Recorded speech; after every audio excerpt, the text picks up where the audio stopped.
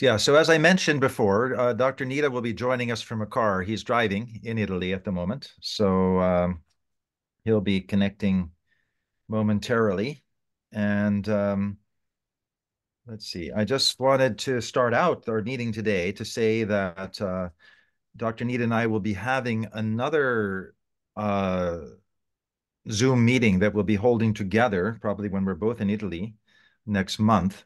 Um, and that will be kind of another another very open one. But we knew that there were a lot of you who've already signed up for the Tibet and the Bhutan trip who are eager to get an update about everything from visa applications to travel arrangements. So we will, in this meeting, uh, be focusing a bit more on practicalities uh, for the coming journeys. Uh, and as we did last time, at the same time, we will also talk in more general terms about what the two trips will be covering. But uh, in a certain sense, as Dr. Nida and I discussed yesterday, we'll be this will be kind of the looking at the outer aspects of the trip.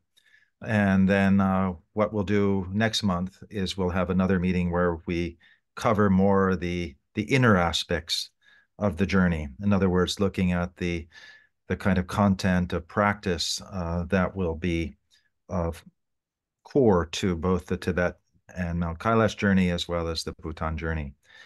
But just uh, because we, we've sent some updates to everyone who has signed up already, uh, but we thought this might be a good occasion to, to just address some very specific concerns and then also to, to open it up more to questions and answers.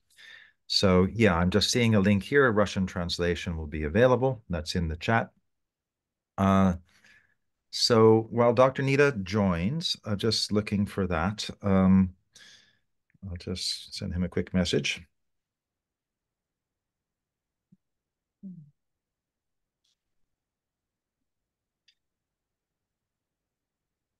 So just to give an introduction, because I see a lot of names here, of people who haven't uh, actually weren't here present on the last Zoom call that we had. So just to give you a general introduction to Vajrapath's offerings in terms of journeys in 2024. Uh, as you may know, we have the journey to Tibet and Mount Kailash, the sacred mountain at the center of the Buddhist universe. Uh, and this is a mountain that is sacred to the Tantric Buddhist deity, um, Chakrasamvara, the Wheel of Bliss, and thus the title for the trip, the Wheel of Bliss. And uh, Chakrasamvara is depicted as being on the summit of uh, Mount Kailash in union with Vajravarahi, Vajrayogini, consort. And so it's actually this kind of this this very very dynamic energy, uh, which is central to the sacrality of the mountain, and it's essentially for for Hindus, it's um, it's Shiva and Shakti on the summit, and we can see a lot. And as we will explore during the course of that journey, looking at the direct links between the Chakrasamvara Tantra in particular and pre-existing uh, Hindu Shaiva tantras. So, in other words, Shiva and Shakti, Chakrasamvara, Vajravarahi, a lot of common ground, both iconographically as well as in terms of the internal practices connected with with those deities. And at the same time you know all exploring all of this in the context of this extraordinary um, mountain as it's described as a kind of ladder between heaven and earth at the center of the earth. So a really an amazing place an amazing journey. And then when we have the the bhutan trip in um, uh, in october we'll be looking at kind of the completion stage practices of Chakrasamvara. In other words, the tumo, the inner heat practices, working with bliss and and uh, heat energy in the body, which is as the the as people are aware, I think, uh, in the Vajrayana tantric Buddhist tradition, we have the so-called creation stage and completion stage. And the creation stage, working with active imagination, working with, in other words, an altered uh, view of reality that uh, works with the um, extraordinary iconography of the Tibetan and Tantric Buddhist traditions. And then we work with the energy practices to bring those um, practices to their fullest realization in Mahamudra and Dzogchen. So the offerings of uh, the 2024 Vajrapath journeys are going to be working right through the creation stage, the completion stage, and then culminating essentially in the um, the final. Um, one second, I have to uh, go back to. It's asking for language here.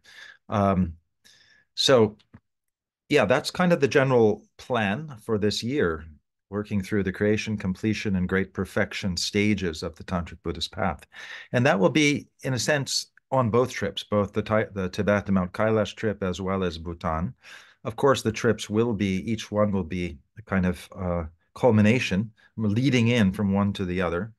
Um, but at the same time, all of those aspects will be covered on both of the journeys. So uh, we know that it's not realistic for most of you to be able to come on both trips, although we would obviously encourage that. And we're going to be actually making an arrangement in future, and it would actually be applicable this time.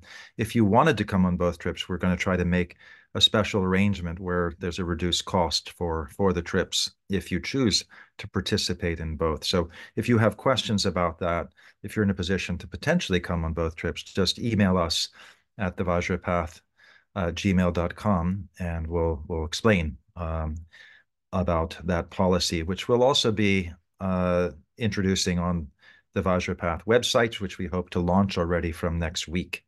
And that will include uh, information uh, that we'll be covering today, for example, uh, a lot of the what you've seen so far about the trips in terms of trip prospectuses, trip logistics, uh, preparation, packing guidelines, conceptual, as well as practical overviews of the trips. We're going to have a lot of that up on the website. So we're excited about that. That will also include some of the the preparatory uh, and follow-up online retreats that we'll be offering. So uh, there's a lot sort of happening behind the scenes that we're very excited to to share with you very soon. Um, I wanted again, uh, if Dr. Nida, I don't know, are you there? Nida, yeah, I do see. Dr. Nida, can you, if you're there, and could you? Uh, yes, yes, I'm in the car traveling. Yes, I'm here. I can hear you. Okay, great, great, great. Yes, yeah. Okay, so, so yeah. I think, yeah. yeah, perfect. You start to give informations and answer the questions. Okay. And I'll, I will mute myself. Yeah, if there will be any questions, I will answer later. Yeah. Sure, sure. I'm great. in the car. Okay, great. Yeah, thank perfect. you. Hi, yeah. everyone. Nice to meet you again here. Yeah. Good. Yeah. So as I said, well, this is a kind of the outer um, uh, introduction again to to the the Kailash and Mount and uh, Tibet trips as well as the Bhutan trips. And Dr. Nida and I will do together a kind of focusing more on the inner content of both trips uh, when we're both in Italy next next month. Um, and in this regard, I know there have been a lot of questions that people have asked, and I'll just cover this briefly because we will send an email to you all about it, about the, the visa process for applying for a China visa. It's become more kind of uh, bureaucratic uh, in since COVID. And so the policy now is to get a China visa, uh, you have to be formally invited with an official uh, itinerary uh, from the Chinese, from a, China, a registered Chinese government um, tour agency. So we we work with a partner agency in uh, Chengdu in China, and we've sent everybody's PDFs of everybody's uh, passport photos, and they've just been waiting. They want to wait until the kind of group is formed before they send the um, the the official invitation letters that will have your name and passport number on it, and you would simply uh, print out that um, uh, that letter, that formal letter, which will have an itinerary for China in it. So don't don't be concerned when you see that the itinerary doesn't include Tibet. This is just the normal two-part staged process by which visas and travel in Tibet uh, take place. So you'll have a um, initial letter with an initial itinerary, uh, and you will follow. Just submit that when you apply for your for your China visa, and we will give you all the instructions for that in an email. So no worries, that all can happen very quickly once um, once the letters are issued, which they said will happen this coming week. Now that we've pretty much filled uh, the trip. So that's one thing I wanted to mention. Also, uh, on the earlier uh, trip prospectuses that you've all received. We talk about early morning flights from Chengdu to Lhasa, as well as our flights back. We, we didn't give you specific information about it. Um, we will be sending out again to everybody who's fully registered. That information uh, will be included in an updated trip prospectus. But just if you wanted to take note of that, because I know some people were trying to book their flights in and out of Chengdu, for example. And uh, so just if you've taken note of that, our, our uh, on the 27th of July, our flight will be, it's a Tibetan, Tibet Airlines flight leaving at uh, 9 a.m.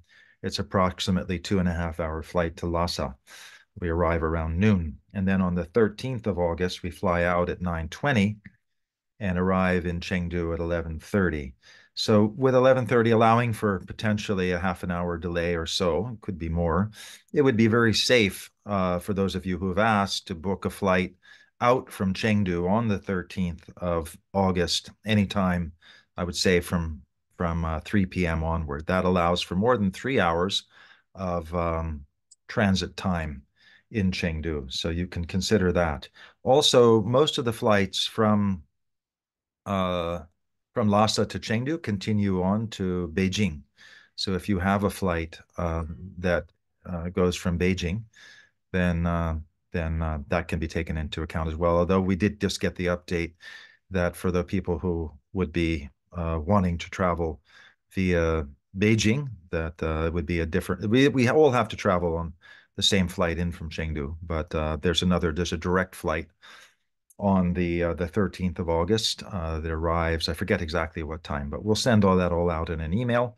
So if your international flight is going to go through through Beijing uh, on the way out, then uh, you might you'd get a different flight out from Lhasa. So those are just some practical considerations. Also for Bhutan, we have also the specific flights that will be booked on.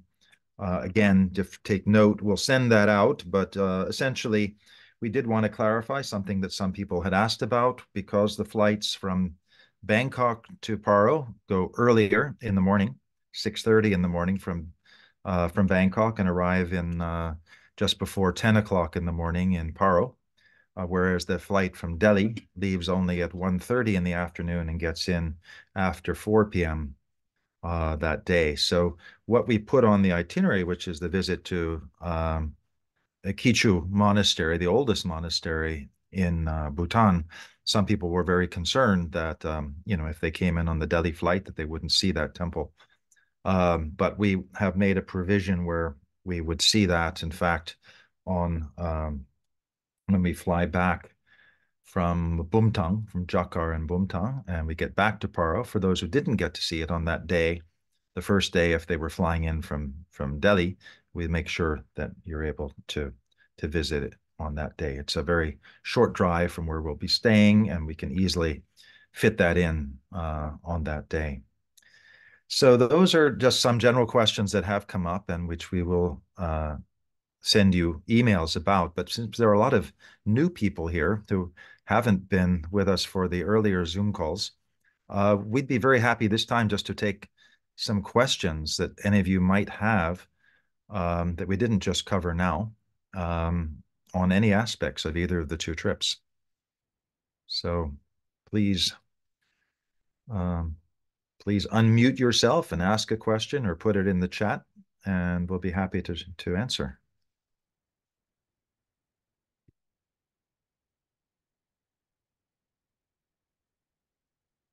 I'll just go for it instead of typing. Yes. Hi, Please. Delaney here. Um, so I have a lot of surface level knowledge of things, and you've given a lot of reading materials there. Is is it still going to be okay, like if you don't have a lot of knowledge? Great, great, Delaney. That's a really important question. So thanks for asking it. Yeah, no, all of our Vajrapath trips, we, you know, it's very specifically. Although we go right to the core essence of the tantric Buddhist tradition and Vajrayana, we don't have a situation where you know there's any prerequisites per se at least not for these journeys we very much the idea of them is that they're kind of a crash course as it were uh, introducing vajrayana tantric buddhism through sacred places both from the Vajrayana tradition as well as analogous traditions. So we did a trip, for example, in Greece last year, looking at the the mystery school traditions of of um, of ancient Greece and how they have common elements with what we see in Vajrayana. So in that respect, you shouldn't be concerned that um, you know you don't have the requisite background. We'll be giving you, you know, suggested readings and things like that. But really, we will be very conscious right from the outset on the trip to give more introductory talks and uh, so that people really have a thorough grounding both in the theory and practice of Vajrayana as we as we undertake these journeys. Great. Any other questions? Hello, Ian. Hello there. How are you doing today? Great. Thank you for this. My question is simply as far as staying on, you had mentioned something about, of course, staying on in Tibet itself is not an option, but there were some areas you were talking about if one wanted to extend the trip beyond uh, yes. So for the Tibet trip, some people have asked whether they could come early or or go later. Again, it's quite strict now in uh, in Tibet and China generally. One can only travel in as a group, and one is expected to travel out as a group. But there's a lot of Tibetan. There's parts of Tibet that are in Sichuan province, which is where Chengdu is located, and we can um, will gen- de- uh, definitely be able to advise some. Um, some possible ways of staying on in the Tibetan Buddhist world, uh, where after we've flown out of what's called the Tibetan Autonomous Region, TAR, where we need to have separate permits and can only travel as a group. Uh, so it all depends on how much time you'd want to spend, uh, and um, you know before we know how to advise. There are places, for example, that you could fly to uh, in Sichuan or Yunnan, for example, that are fantastically interesting mm. and worth visiting, like in uh, even the uh, it, it, the original Gyalthang, uh, which is in southeastern Tibet. It's been re renamed Shangri-La because of its beauty and its uh, and its quality. So there's that's a place one can get easy flights to from Chengdu if you wanted to go there. It's a wonderful place to spend a few days. Um, and we'll put together a list. I mean, even there, you know, Dali places again where there were other forms of Vajrayana Buddhism, uh, with the Bai, the Bai people, the Bai tradition, uh, really beautiful places. Um, and where a lot of the tea in Tibet was always imported from is on the what was called the tea trail. So we can recommend a lot of those for people who want to perhaps stay longer in the region. Uh, but outside of the Tibet Autonomous Region itself. So we'll, we'll put together a little uh, some information on that and uh, get that to you as well as put it on the on the website. Oh, great! Thank you. Mm-hmm. And the other. Hiya. So my understanding is that you can fly directly from uh, Lhasa to Beijing because you know I'm going to uh, fly international. So um, we can make arrangements, right, for that to fly directly from Lhasa to Beijing and then leave Beijing, you know, because it'd be a lot easier, obviously.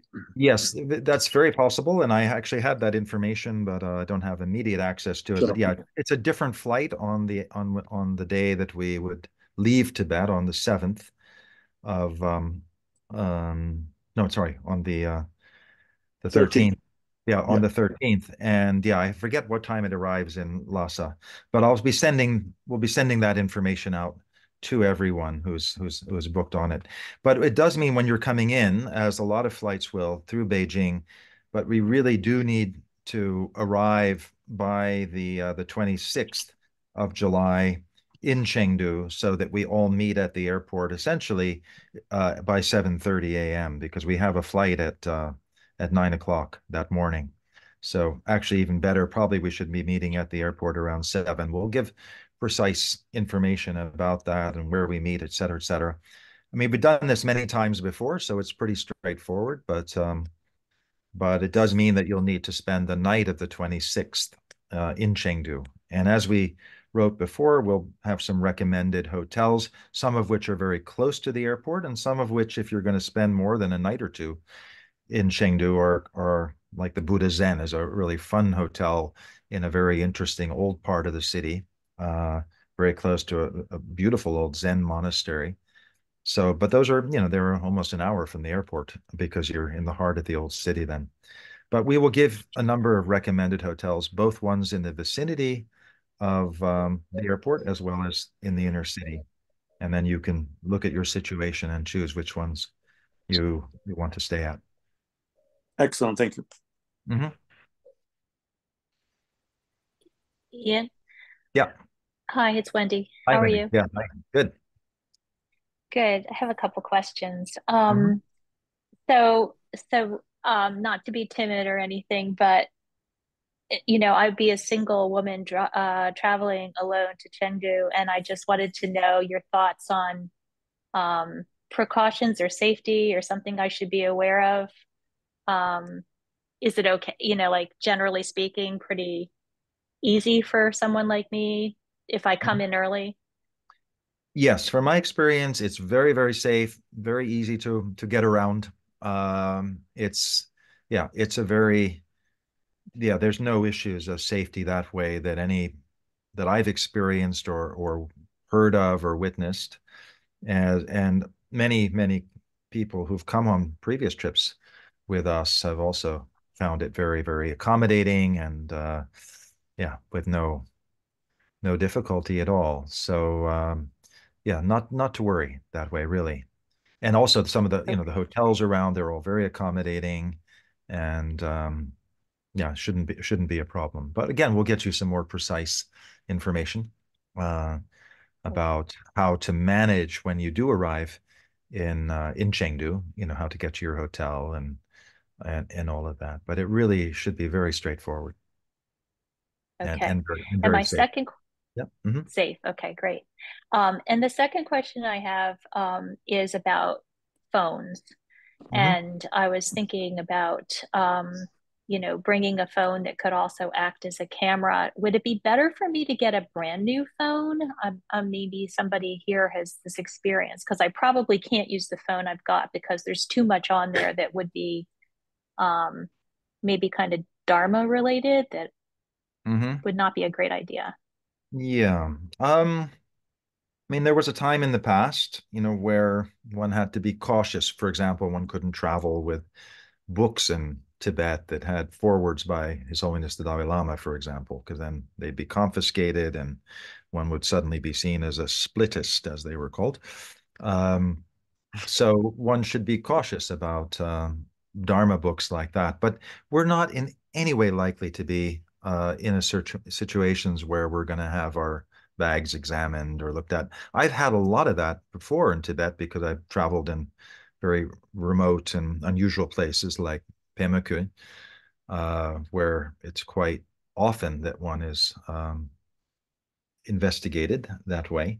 But where we're traveling is all standard places where where tourists are allowed and travel. So we have, and I've never had on any trip to Kailash anything, uh, no issues like that whatsoever. So I don't think you should be concerned about what's on your iPhone. Um, you just want to make sure that you have enough space on your phone uh, for the photos you want to take. And then also in terms of phones, um, often people have taken, as I do, uh, an old iPhone or an old old mobile phone of any kind, and then you can get a local uh, mobile Chinese mobile number, and then they kind of work really well. They work everywhere, and they cost almost nothing, and it's like having a walkie-talkie. You know, you can communicate with anybody in the group, with any of the guides, just using a local. Um, uh, just for domestic, you know, domestic calls within China, Tibet. And that's been that's very simple. The other advantage of that is that then you can use that iPhone or that extra phone as a hotspot uh, because you'll have that signal, and that would allow your normal phone, which might still just have your US number on it, to get a Wi-Fi signal through your hotspot. And that would allow you to, you know, have WhatsApp communication, allow you to receive emails, etc. So but now as I understand it, and I haven't explored it fully yet, but I'm sure a lot of people have, there now have eSIMs. Um, and I don't know enough about it, but it's something to look into because then you have a lot more flexibility. You don't actually have to have this separate SIM any longer. I'm not sure what the process is uh, whether it works in China, Tibet, or not. But it's something we'll also look into because that way you can have several so-called eSIMs in your phone simultaneously, uh, allowing you uh, seemingly uh, Wi-Fi access as long as you have data. But um, the safer way, and what I've always used on every trip to Tibet, is just to bring an old phone and uh, put a local a local Chinese SIM card in it, and uh, then I have Wi-Fi and I have a local number the whole the whole way through, and that can be very useful because we'll have that signal all the way around Kailash, and uh, that allows us, you know, if somebody straying behind, you know, can reach them, uh, and it just gives a lot more uh, connectivity within the group uh, to have it that way. It's not like everybody has to have it, but um, it's good if you're around somebody who does, just just in case there's communication issues to be taken into account. Uh, Thank you. yeah. Yeah. Regarding these two informations. Sorry, So, yeah, regarding these two informations, the safety, now it's very safe. Every 200 meters, there's a CCTV. So okay. that's uh, actually, especially big cities, everything is super guarded. Yeah, yeah. And so, so there's no really now these uh, safety issues. That's uh, very safe. And Yeah. the other thing is, uh, yes, as you said, the SIM card, the local one, probably we are going to uh, everybody have a WeChat. WeChat is the the local communication tool. We Mm, can make a temporary WeChat because uh, everybody should know in China not allowed to use WhatsApp and Gmail. And as Wendy was asking, so it, the best thing is if you need to communicate with your family members, don't use the Gmail because if you use Gmail from China and you use VPN or you know anything special internets, you use Gmail, and it seems very often they, they, they control Gmail very strictly. And then probably they check your old Gmails and if you have any, you know, contact with uh, I don't know anything with political issues, then maybe they, they cause some troubles.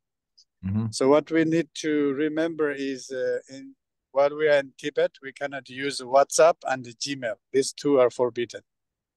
Yep. That's Yeah. that's really really critical advice. And WeChat, which um, we'll all be able to easily use when we're there, because the only signing up for WeChat's not always easy because you have to have somebody who already has it, and then you um, then you automatically get the um, the link. So we'll be doing I think I think yeah we can organize a group WeChat because then you know as Mm-hmm. a group I think the travel agency can help us. We all make Absolutely. a WeChat together, yep. and then that we can easily do then- we're there. Mhm. Exactly. And also, uh, if you need to maintain the communication with your family members, so you know WeChat you can download anywhere, also in the you know US and other countries.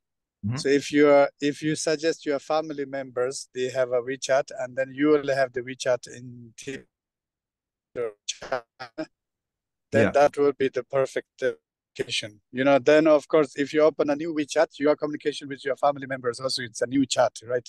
Mhm. Yeah, that's that's critical advice and very very important. And so this the same way, um, if people Use have a yeah yeah, because Google is a Google is an issue in um, Exactly, yeah. Yeah. So anyway, it's good we have a WeChat. Uh, sorry, it's good we have WhatsApp group now because that's relevant overall for the Vajra path going forward. And of course, it's essential in in Bhutan where there's no issue like that.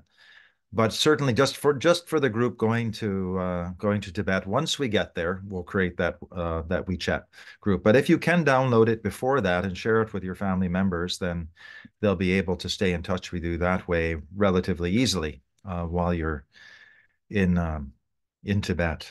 So yeah, and if you also have once we're there, we'll have pretty much email connectivity. You know, maybe just two days uh, on uh, going around Kailash will be the only time when we don't. Well, there'll be a couple nights too when we're camping where we won't have, uh, except if you have a hotspot and can use it. Uh, but there'll be a, you know occasional periods, nights at a time when may not have uh, regular email contact.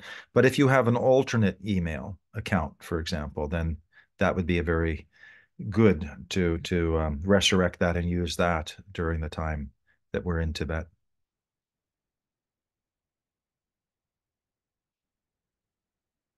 Good. Other questions?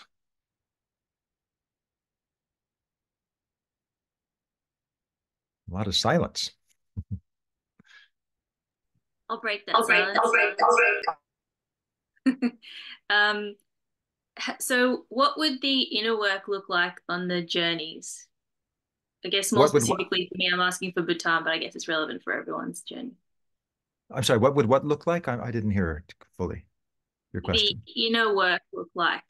Oh, the inner work. Well, certainly, yes. The inner work, we will be we we will have a schedule uh, for uh, the inner work, as I mentioned, for the the Kailash trip is with a, a kind of overall focus on the Chakrasamvara Tantra. It's one of the earliest so-called yogini tantras in the tantric Buddhist tradition. Very, very rich in terms of its iconography, the whole history of its formation and development. Uh, chakra samvara, meaning literally the, the wheels of bliss. So it's very, very much centered on the on the the yogic body or the subtle body in terms of the the chakra system, the flows of energy within the body.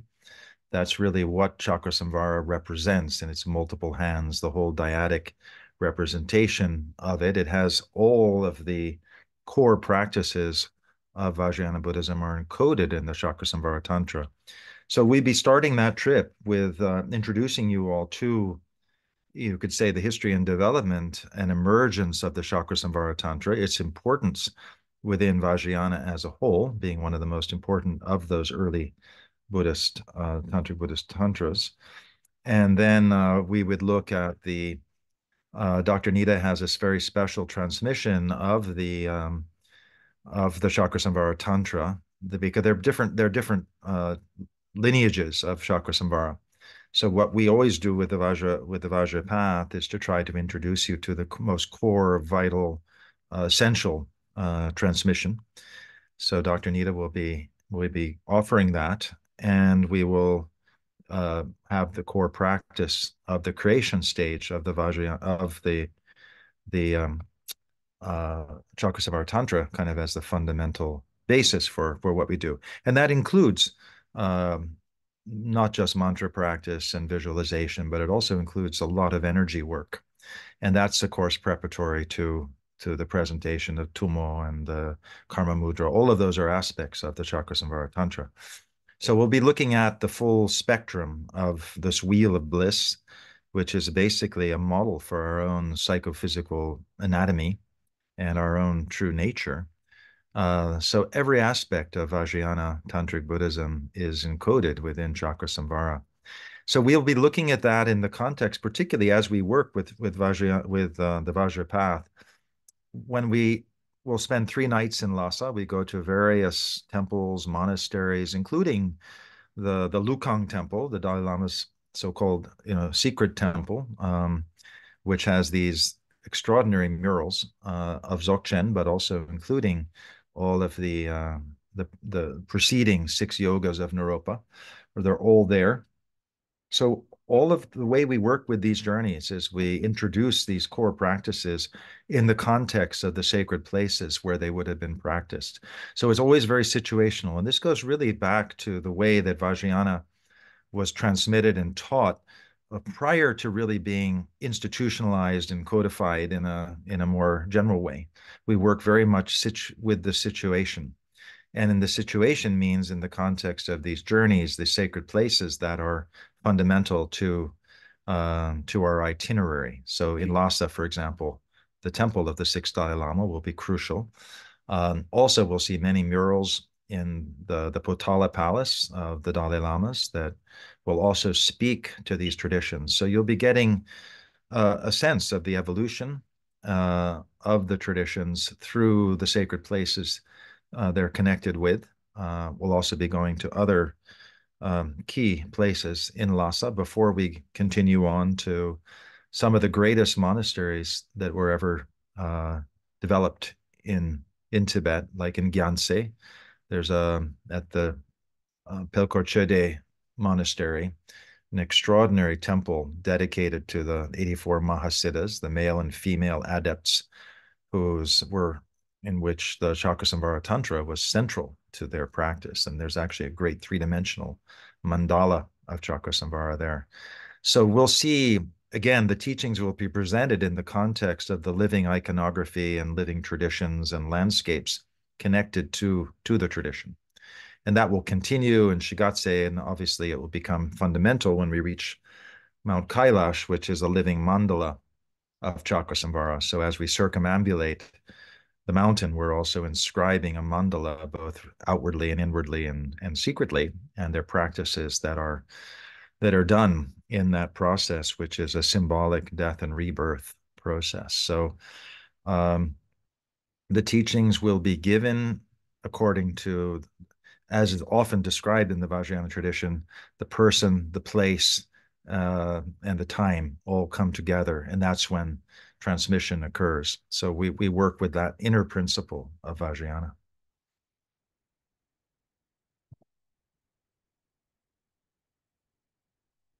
Did that answer your question, or were there something more that? Uh...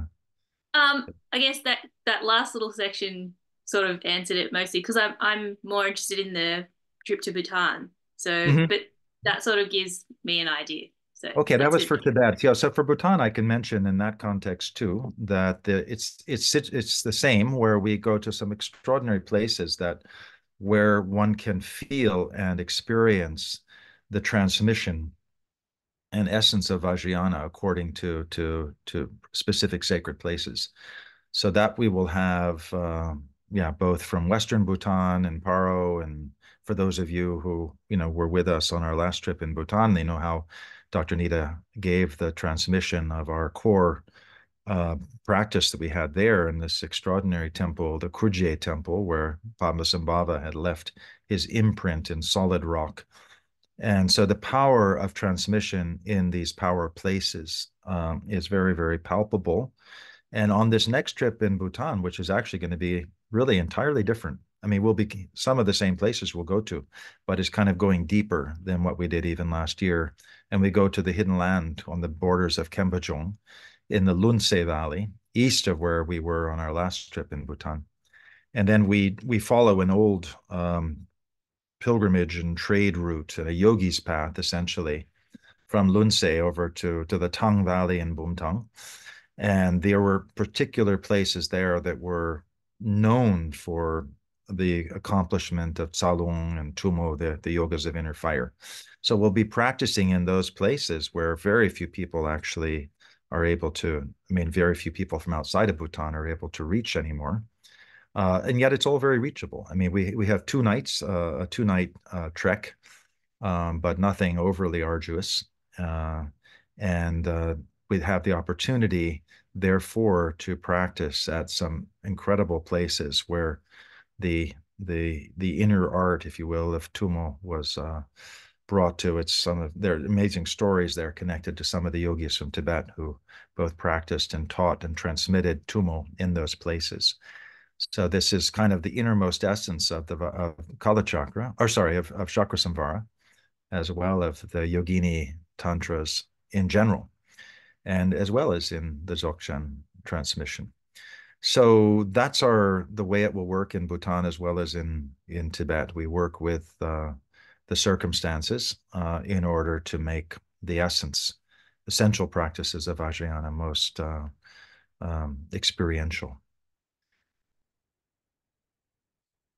that answers that. Thank you. That that that part of it's really appealing of the trip. Yeah. Yeah, yeah, yeah, and that's that's really what the essence. It's hard to describe, but that's the essence of what our journeys are. They're they're outer journeys to inner destinations, you could say. And so we work with the outer um, geography in order to to reach these innermost states ultimately. So they're inner inner destinations, which are actually working about uh, you know states of mind and states of being that are often not part of our everyday experience and yet which are at the same time fundamental to to the path of realization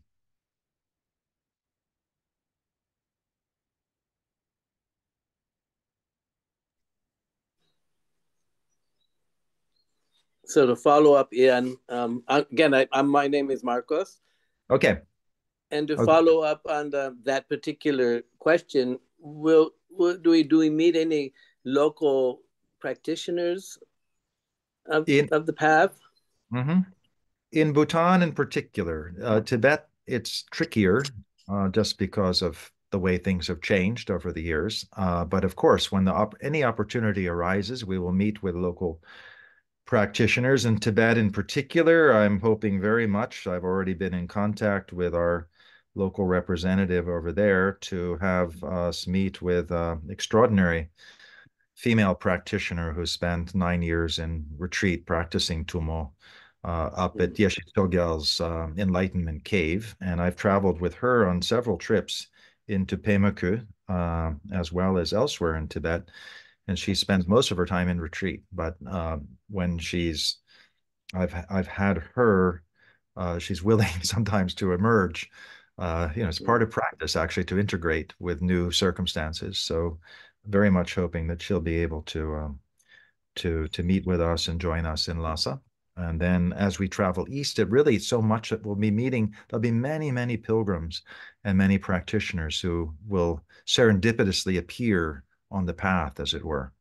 Um, and we, of course, work, that's why we work with circumstances. That's really the key.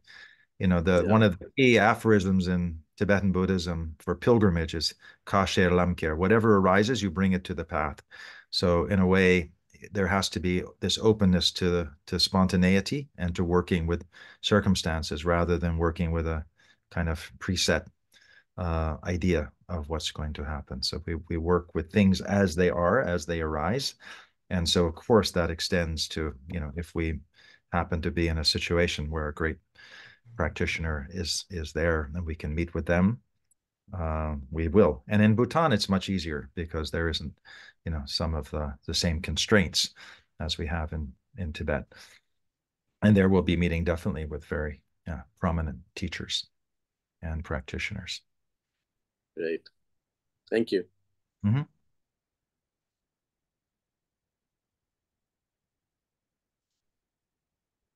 So, any other questions? We have, yeah, I think.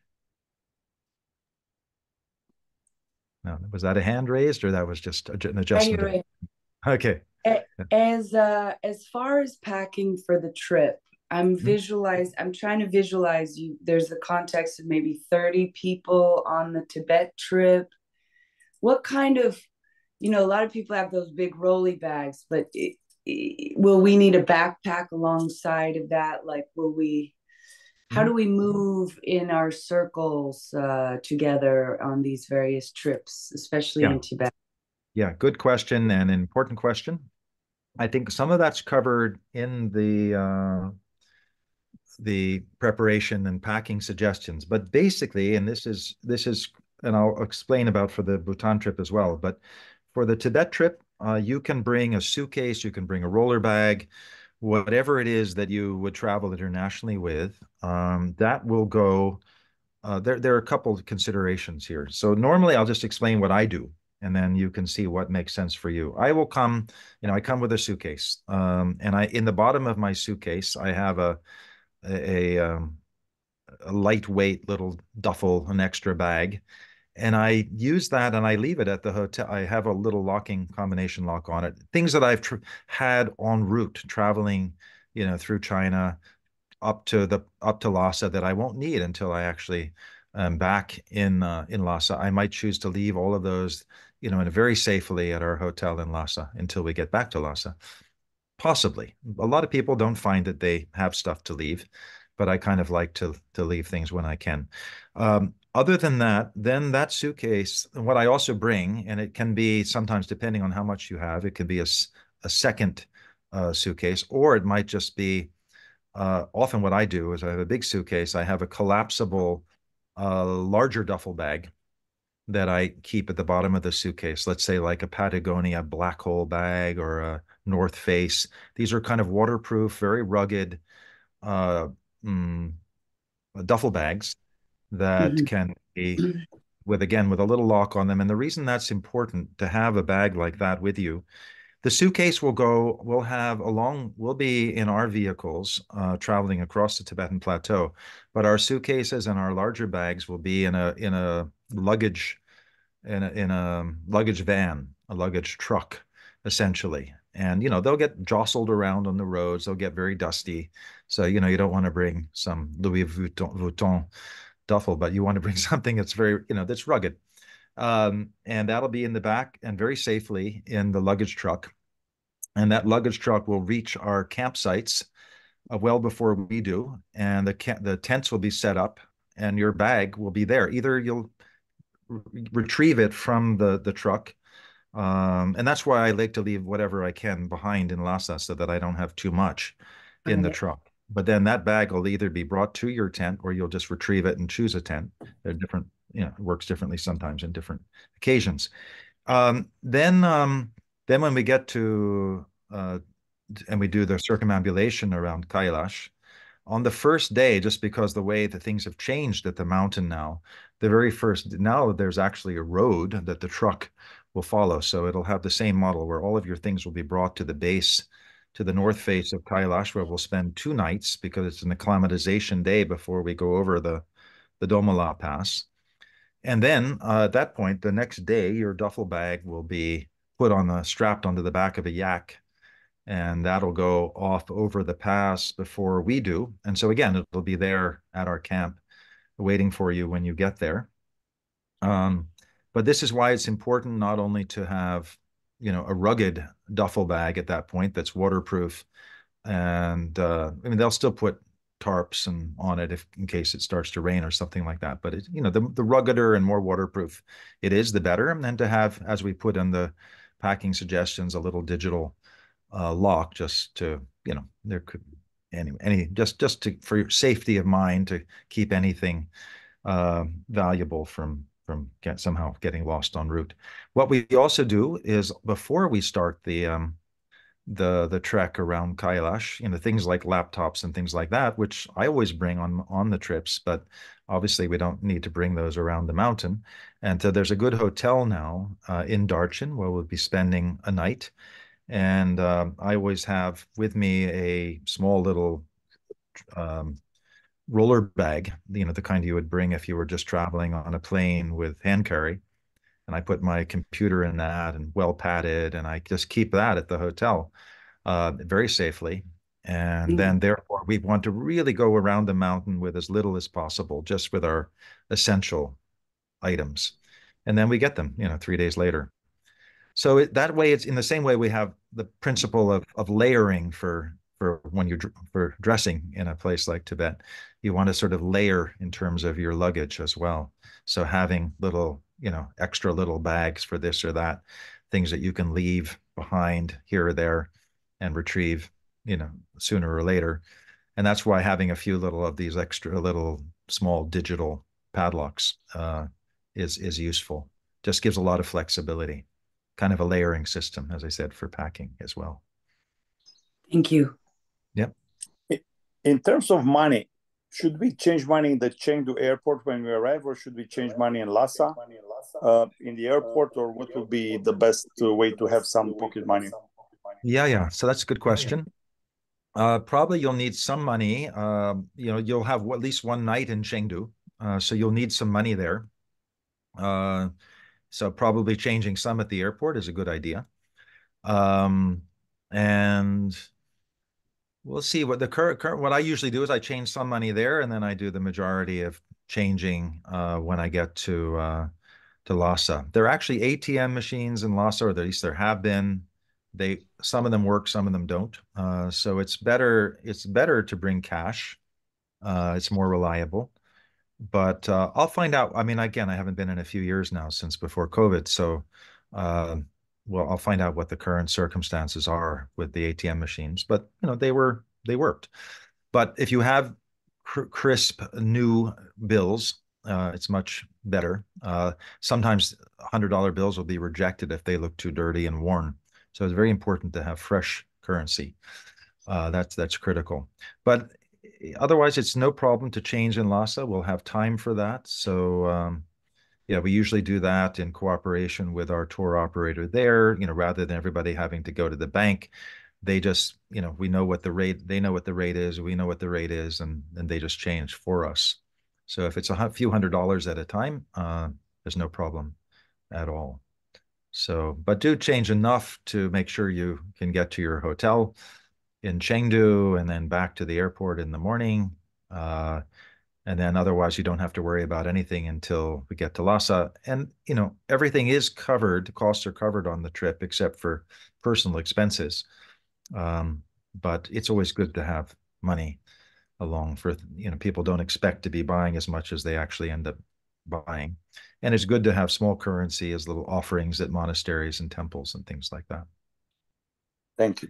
We'll need money also for you know the, the customary tips at the end of the trip for our for our guides and drivers, etc.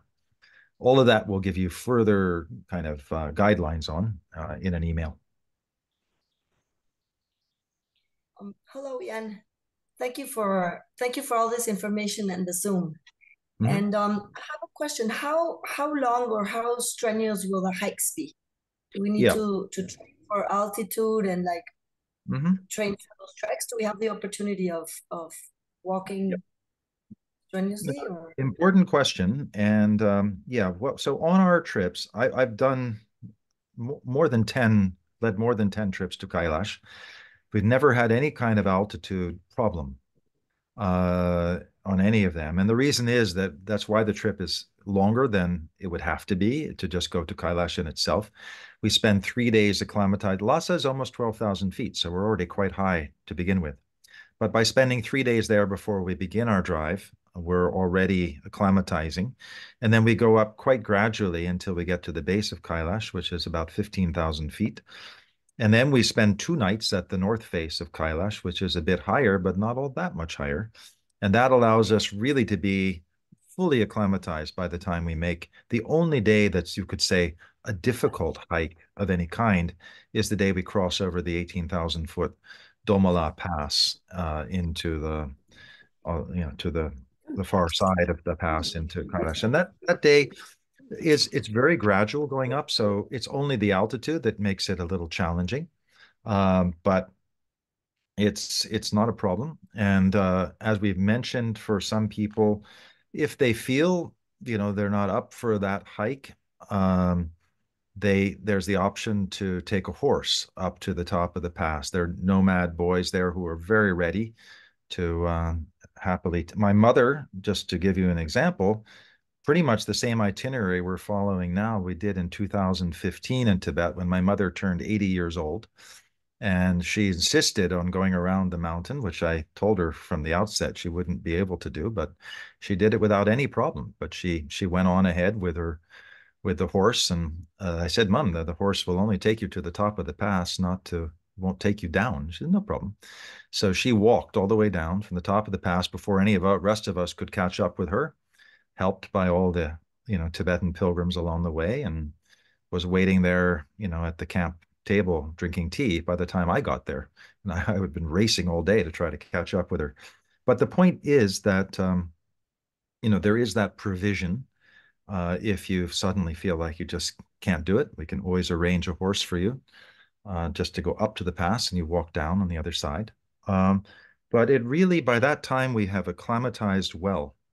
And uh, I've really never, I've had people who've been at the North Face and they say, you know, there's just, they're really fearful. They don't think they're going to make it the next day and then they have no problem.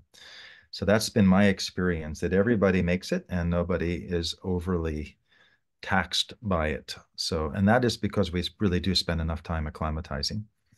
And yeah, there are also breathing techniques as we'll as we will be introducing you to that really do help with acclimatization just as much as some of the medications like Diamox do.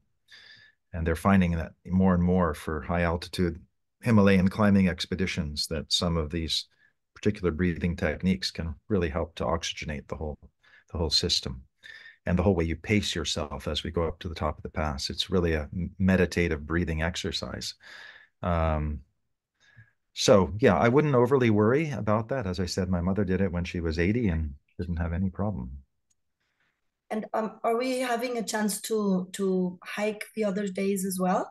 Yes, uh, yeah, I wanted to mention that. So when we well, while we're in Lhasa, we will do an acclimatization hike on the second or third day. I think I think it's the second day uh, that we're there, and that's specifically to just make sure everybody's feeling okay and doing all right.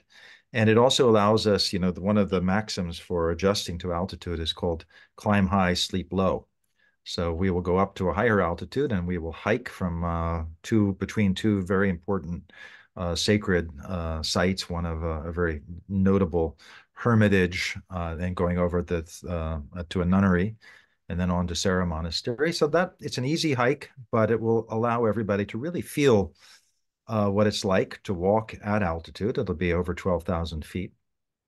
And also to make sure that the gear you have is sufficient and it allows us to also see if there's anything that you might need that you didn't bring, in which case there are trekking shops in Lhasa where you can get pretty much anything you might have forgotten.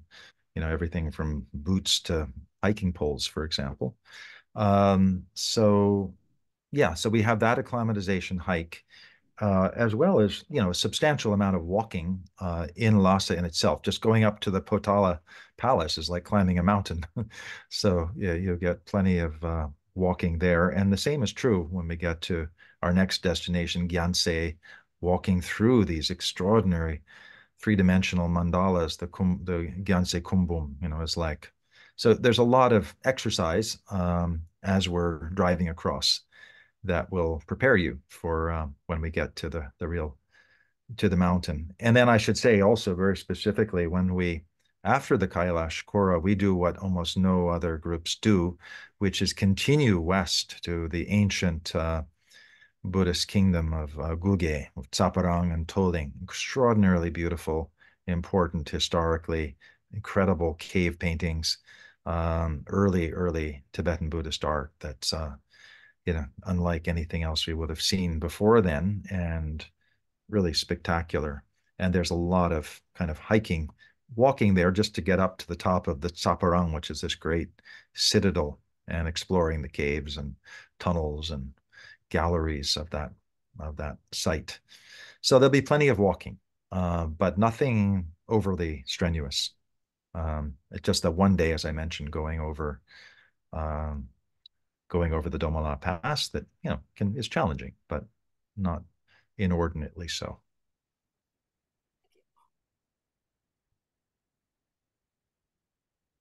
But I'm glad you brought up that question because that is a crucial a crucial one, and a lot of people do get anxious about the um, uh, you know about whether they're in shape enough. Uh, and as I said, you know, having led many trips there, um, there's been a lot of anxiety that people have about that, but generally people do absolutely fine. And as I said, there is that provision uh, to either ride a, a, horse or a yak, as people do also choose to do, to the top of the pass and then walk down.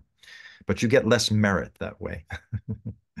I mean, that's the conventional view, of course, is that, you know, the and no pain, no gain. So if you're just sitting comfortably on a horse up to the top of the pass, then you're not going through quite the same internal struggle that uh, is part of the the beauty, the power, and the challenge of the pilgrimage itself, where you're walking through these charnel grounds and you leave a part of your clothing or a body part. There's a which which we'll see. There are a couple. There are stages of kind of symbolic death and rebirth, leaving behind that which no longer serves so that literally crossing over the Domala Pass is to pass through into a, you know, you've left your old karma, as it were, behind. And uh, there's that's really why you'll see pilgrims prostrating all their way for sometimes a year, you know, from eastern Tibet across the Tibetan plateau in order to reach Kailash, to go through that symbolic um, death rebirth uh, death and rebirth in the sense of just leaving behind which no longer serves the fears the anxieties the the burdens the traumas uh, and then that incredible release that comes when you reach the past and you're kind of now in a new phase of your life where all that no longer serves has been left behind. So uh, that's certainly certainly the way it works, and uh, we will be also following that traditional model uh, as we will visit some sites again that are very seldom visited as we go around the mountain. There's a there's a cremation ground, for example, a sky burial site where we go through a symbolic death and rebirth ritual. Um, there are waterfalls under which you know you have the option. They're freezing cold, but uh, again, they're purifying waterfalls. So there's a lot of very interesting things that are just right off the main track that people often don't uh, engage with uh, because for Tibetans, they're trying to do the whole, sometimes they do the whole three day circuit in one day. So there simply isn't time. Uh, and then for for Westerners who visit the mountain, you know, they're just sort of focused on just getting from point A to point B, and you kind of miss the magic that's in between. So we will be focusing on the magic at all points of the trip. Great, thank you. Yeah. And and I just want to say we've been talking a lot about Kailash, but the same is very much true for for Bhutan as well, and uh, particularly on this trip in Bhutan, where we'll be kind of going very much off the the normal beaten trail uh, of where tourists typically visit in Bhutan, and encountering some aspects that are, yeah, very very special indeed.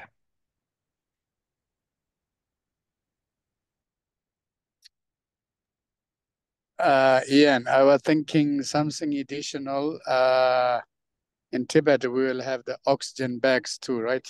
Yeah, very good, So, very good. Exactly. Dr. Travel agency, they prepare the oxygen, the portable tanks, little bags.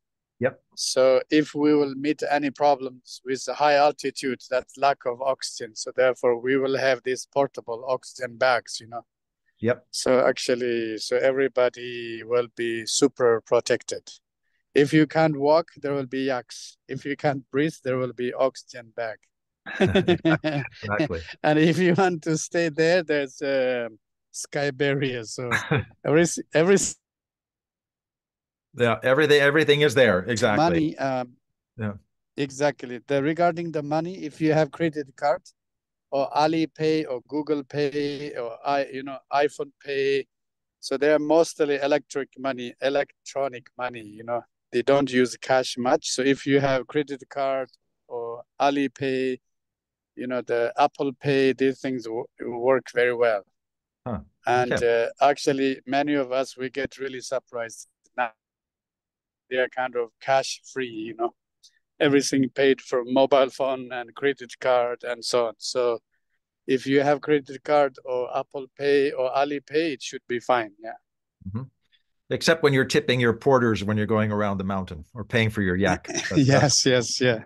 Yeah. so exactly. having some cash is useful because uh, even at you know shrines and altars in the temples, but Yeah. but, Yeah. that, but this is what I think you'll all be surprised by is that you know when you go to China, it's like so developed in a way. I mean, in a way, it's just much more technologically um, efficient, you know, than than America.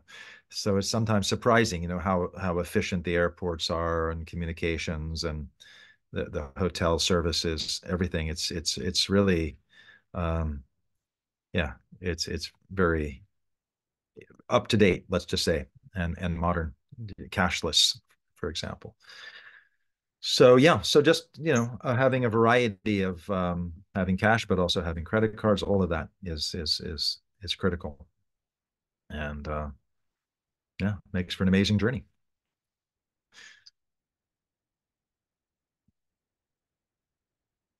So we've gone past our hour, but that's only if uh, we're okay for the time being. But if anybody needed to go, please feel free. Um, uh, if you had only the hour, but otherwise we can, because we told some people we would stay around for another, well, until quarter past. So we have about seven, eight minutes left. If anybody did have more questions, um, any anything coming up? Uh, you're still formulating each group. How many people uh, so far are showing up for each of these uh, trips? Yeah, our our plan is to have a, a, group of no between 25 and 30 for each of the for each of the trips. That's our that's our intention. Uh, but we still do have a few, you know, we have a, you know, we're not going to be strict about that, but uh, but 30 is kind of our idea. Uh, so for some people who've just recently, just today, for example, there are a couple more people who are interested in joining. Um, so we we do still have some room, but for the most part, each trip is already quite um, uh, quite complete. But we did they did say in Lhasa that they were hoping to issue all of the um, uh, formal invitation letters uh, once we had the groups fully uh, formed. But then I I had a talk with them yesterday, and I said, look, we're, still going to be accepting people up till the end of this month. And so they said, fine, we'll we'll issue the letters for the number of people we have so far, and then um, and then there are a few people, for example, who've confirmed, committed, but not yet sort of paid in, and therefore we haven't uh, asked, requested their formal letter to be issued. Um, so yeah, we'll have very good groups, but a very a very good and workable size. So um, that's that's um, that's the plan. And and along with that same question, are they separate vans we roll in? Okay. Like, yeah, yeah. Like, so this uh, buses, like what are we looking at? Yeah. Okay. So there's no, no, no. It's important. So there's a new regulation, as there often are in China, uh, for a group in Tibet can no, cannot be more than 15 people, but you can have. Um, so we will have we, we're formulating. Uh, we have already two groups, basically, and those groups, everybody will be staying in the same hotels, eating together, traveling together. The only place where that becomes an issue, and it may not even be an issue, is when we go. We have to drive through a few checkposts and it may be that people who are designated with a particular group with a particular guide will all be on one bus of 15 people uh, as we as they do a customary uh, check at the check post. That's the only time when it becomes even something that we would experience um, as uh, anything at all. But it, it's a sensible way in which the, the the Chinese government keeps track of groups, keeps track of people. Um, and it doesn't mean that a group has a, of 15 has its own guide. Um, but again, it doesn't really affect our experience. In the past, they've had another rule, which was extremely problematic, and it would be certainly in our trip, where you couldn't have a group that was mixed nationalities. So I had one group with like six groups because we had six different nationalities, you know, the American people, and though everybody had to sort of gather according to their their their um, their country of origin uh, when we went through certain checkposts. That was, I think they realized how impractical that was, and then they scrapped that one. And this is the current one that's in vogue at the moment, but it doesn't really affect anything. It's just affects us in terms of putting how we put the groups together and all of that. But our experience. And so be, it, it's vans or buses, like uh... it, it, a bus. Uh, well, it's a bus. It's sort of a luxury bus, and the bus is by far, and this is what people don't realize. Sometimes we've had buses, and then we've had Land Cruisers. Uh, the buses are far more comfortable ultimately to travel in than the Land Cruisers are. The Land Cruisers can be slightly faster, but when we're in the bus, it's much more. There's more interaction. There's loudspeaker. We have music. We have we have talks. There's a lot more engagement uh, when we have a group, you know, with 15 people on one vehicle rather than three or four, three basically mm. in Land Cruisers, which used to be the norm going to Kailash when it was a terrible road uh, where you had to kind of go you know, at full speed with a Land Cruiser through rivers and sometimes, you know, literally swept away sometimes in Jeeps. Uh, but now the road is very smooth and it has cut the driving time down between Lhasa and um, and Kailash in half easily because it used to be just this unbelievable washboard with but now there are bridges and and asphalt where there wasn't before. So traveling by bus is very comfortable and certainly more convivial. So the one thing we would encourage everybody to bring though, because sometimes the drives are long, we, uh, to bring bring some good music to share on the for the bus rides. That's important. uh, so on occasion we'll we'll want to we'll bring we'll bring some of our our our own. Uh, we have some things in mind for you on the bus, but it, it doesn't hurt to bring and we'll share more of that in in in an email and things like that as the trip comes closer. Thank you. But thank you for the question. Yeah.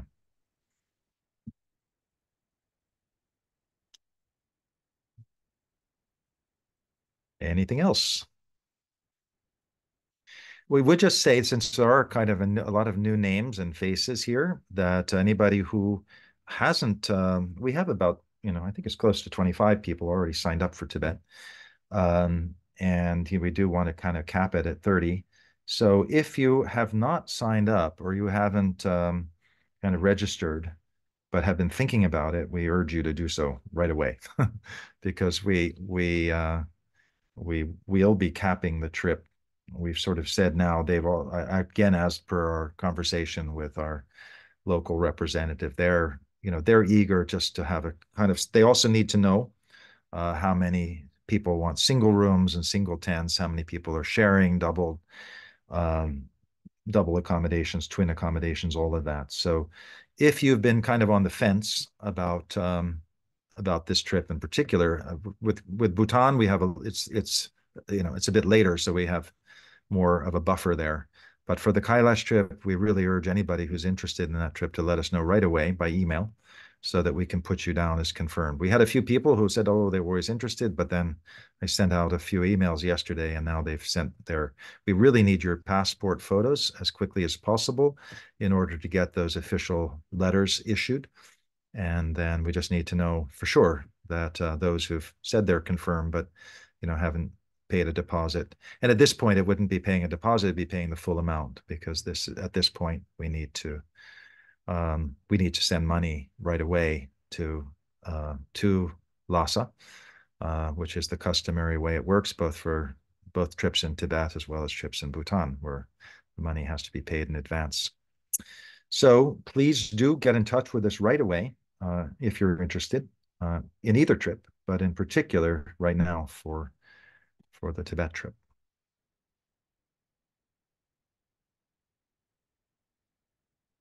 So if if um, Dr. Nida, do you have any other comments or thoughts before we have another gather, you know, in a meeting in a few weeks?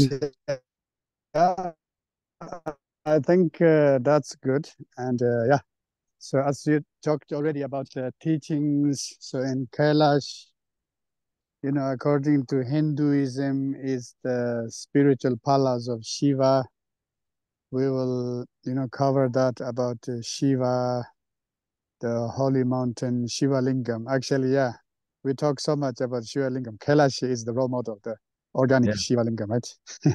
and then the Yoni is the lake. So I think it, it's according to Shivaism or Hinduism, we are really going to the yeah the we'll original place of at how yeah. these two traditions have come together there and really exactly and fertilized yeah. and tantric buddhism is the yeah Chakrasamvara as you explained and especially we explore about Vajra body mm-hmm. yes know, like how how we yeah how we understand how we map inside you know mm-hmm. where the locations of our joy you know 12 types of joy so some Tantra, they talk 16, and according to Chakrasamvara, is talking about 12 types of joys, and which corresponds uh, 12 zodiac signs, 12 months. So there will be, yeah, study of the Vajra body and astrology, secret geometry, secret geomancy. So many things are lapping. Mm-hmm. So and all of that, as you say, is yeah, kind of preparation for the inner yeah. body yogic practices of Tummo, you know, igniting yes, those yes, yeah, places exactly. within our own yeah. body. Yeah. Mm-hmm. Exactly. Yeah. yeah. So therefore, it will be a it will be a journey of more than a journey. yeah, yeah. Yeah. Yeah. So it's as we said, sort of an outer journey to a secret destination to a secret destination, which is our own realizing our full potential. Exactly. Yeah. Yeah. Mm-hmm. Great. So we'll uh, keep you all posted. We'll send out another Instagram, and we'll also send out emails to everybody currently who's on the list uh, about a um, you know within a month's time or so, when we'll have a session that focuses really specifically, as Dr. Nida just outlined, on the um, this idea of the you know what what really is the heart of the of the Chakrasamvara tradition and its outer, inner, and secret practices. and giving you some also uh, initial practices that you can begin with um, as we begin the journey. So, so if that's it for now, unless anybody has any other burning question, we'll we'll end there. And um, one more really quickly. yeah, sure. Yeah. Yeah. Um, if you have any um recordings of of practices that we might um start doing, or I would appreciate it very much, like Mhm. meditations or things like that. It would be very helpful. Please. Okay, Dr. Nida and I can discuss that and then uh, then uh, let everybody know what what might be a good foundational practice for yeah this this period now a few months before the trip begins that we can then build on as the trip unfolds.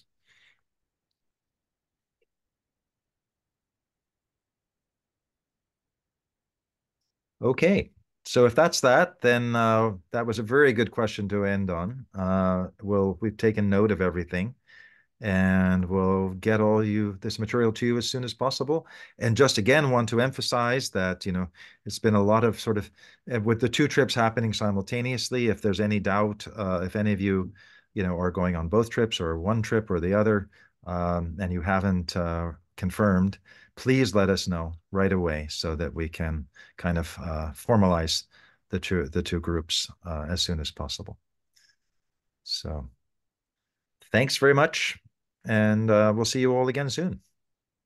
Thank you. Okay. Thank Bye. you. Uh, Uh, Bye. thank you, everyone. Thank you. Thank you. Thank you very much. Bye. Thanks. Thank you. you. Thank you. Hope see you soon. Thank you, Ian. Thank you, Dr. Nida. Thank you, Ian. Thank you. Thank you. Uh, thank you, everyone.